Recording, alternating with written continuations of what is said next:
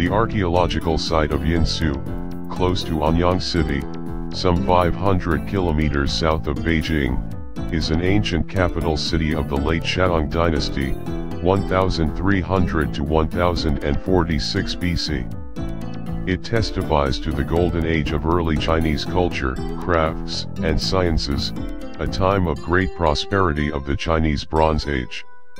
The large number and superb craftsmanship of the burial accessories found there, bear testimony to the advanced level of Shang crafts industry.